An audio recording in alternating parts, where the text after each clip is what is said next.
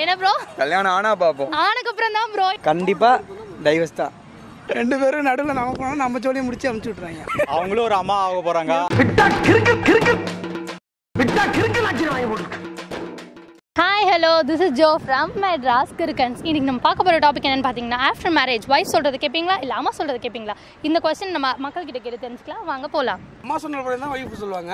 எல்லாரும் நம்ம நல்லதுக்கு தானே சொல்கிறாங்க ஃபிஃப்டி பர்சன்டேஜ் அம்மா பேச்சு ஃபிஃப்டி பர்சன்டேஜ் வந்து ஒய்ஃப் பேச்சு அந்த ஃபிஃப்டி பர்சன்டேஜ்லேயே நல்லா ஃபைட் இன்னும் அதிகமாகிடுச்சுன்னா ரெண்டு கால் ரெண்டு பேர் காலையும் விழுந்துட வேண்டியதான் இருக்கிற இடம் தெரியாம இருந்துட்டு போயிடணும் போ. ரெண்டு பேர் காலையும் விழுந்துருவீங்க அதுதான் ஜஸ்ட் ஏன்னா சுமு சுகமாக சுமூகமாக போயிடணும். இல்லை நமக்குன்னு ஒரு சுய புத்தி இருக்கு இல்லையா? அதே மெச்சூர் வந்து எது தப்பு எதுன்னு எனக்கு தெரியும். நான் வந்து ஒரு மெச்சூர்டு ஆ ஓகே ஆனா அம்மா பேச்சு வந்து ஒரு டிசிஷன் வந்து அம்மாட்ட கேட்டு தான் இருந்தாலும் எடுப்பேன் அம்மா தாங்க முக்கியம் ஃபர்ஸ்ட் அப்போ உங்களை நம்பி ஒரு வீட்டை விட்டுட்டு மொத்தமாக உங்களோட வந்துடுறாங்க உங்கள் வீட்டுக்கு. அப்போ அவங்களுக்கு இல்லை ஃபஸ்ட்டு வந்து ஒய்ஃப்க்கு அம்மாவுக்கு தான் ஃபஸ்ட்டு உரிமை கொடுப்போம். ஓகே அது ஒரு ஒய்ஃபை லைட்டாக சமாளிச்சிக்கலாம். டைவர்ஸ் தான். டைவர்ஸா என்ன ப்ரோ இன்னும் கல்யாணமே ஆகல அதுக்குள்ளே டைவர்ஸா ஆமாம் சொல்கிற மாதிரி ஒய்ஃபை தான் கட்டுவோம் நாங்கள் சொல்கிற மாதிரி ஆளை தான் கட்டுவோம். உங்கள் ஒய்ஃப் கரெக்டாக தான் சொல்கிறாங்க பட் உங்கள் அம்மா வந்து அது பிடிக்கல வேண்டாம் அப்படின்றாங்க. கண்டிப்பாக டைவர்ஸ் தான். டைவர்ஸ் தானா?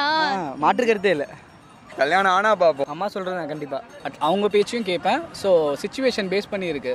ரெண்டு பேர் சொல்கிறதையும் நான் தனியாக கேட்டுட்டு எது கரெக்டுன்னு நான் நினைக்கிறேனோ அது டிசைட் பண்ணுவேன். இல்லை அதான். எது நியாயப்படுதோ அதுதான் கேட்க மாட்டேன்னு இல்லை.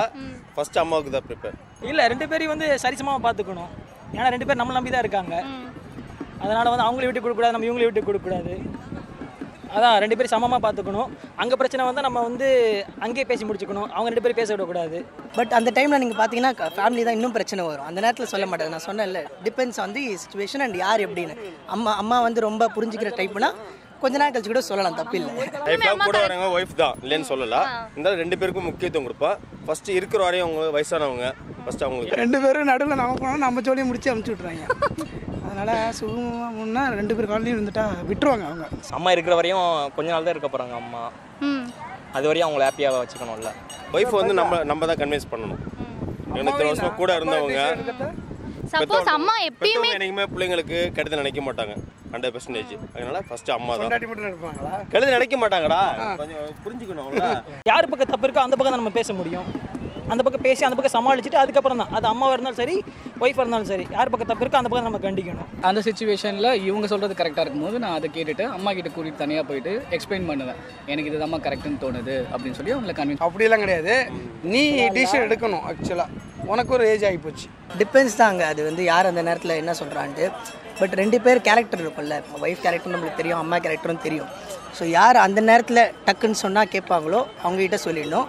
தப்பு யார் சைடு இருக்கோ சரி இருக்கோலாம் பார்க்காம அந்த நேரத்தில் யார் புரிஞ்சுப்பாங்களோ அங்கே சொல்லிடணும். சில பேருக்கு வந்து கொஞ்ச நேரம் கழிச்சு தான் புரியும். அம்மாவோ ஒய்ஃபோ அவங்கக்கிட்ட அந்த நேரத்தில் பார்த்து சொல்லணும். அப்போ உங்களுக்கு கல்யாணம் ஆனதுக்கப்புறம் தான் தெரியும் ஒய்ஃப் எந்த மாதிரி டைப்ன்ட்டு அதுக்கேற்ற மாதிரி அதுக்கேற்ற மாதிரி தான் பண்ண முடியும். நம்ம அந்த ரைட்டு ராங்லாம் பார்க்க முடியாது ஃபேமிலிக்குள்ளே நான் எங்கள் அம்மா பேச்சு தான் கேட்பேன் உங்கள் அம்மா பேசி தான் கேட்பீங்க அப்போ உங்களுக்காக உங்கள் ஒய்ஃப் வராங்க? அப்போ அவங்க பேச்சு? அவங்களும் ஒரு அம்மா ஆக போகிறாங்க அதுக்கப்புறம் வந்து அவங்க வந்து புள்ள வந்து என்ன பண்ண போகிறாங்க அவங்க பேச்சு தானே கேட்கணும். கரெக்டு தானே? ரெண்டு பேர் ரெண்டு பேர் கேட்க மாட்டோம். சாரி எனக்கு என்ன தருதோ அதை நான் செய்வேன். ரெண்டு பேர் பேச்ச கேட்க மாட்டீங்க. சொல்லுங்க ப்ரோ அதான் நம்மளுக்கு என்ன தருதோ அதை பார்த்து நீங்க? எனக்கு நடந்தா பார்க்கலாம் சொல்லுங்க. கல்யாணம் நடந்தா பார்க்கலாம்னு சொல்றாங்க. கல்யாணம் நடந்தா பார்க்கலாம். கல்யாணம் எனக்கு ஒப்பீனியன் கேட்கலாம். வீட்டில் வந்து இது மாதிரி டிஸ்கஸ் இது மாதிரி வாங்க போகிறேன் செய்ய போகிறேன் அப்படின்னு வீட்டில் கேட்பேன் அவங்க சொல்கிறது ஓகேன்னா ஏற்றுக்கலாம் இல்லாட்டி நான் என்னோட முடிவு தான் எதாக இருந்தாலும்.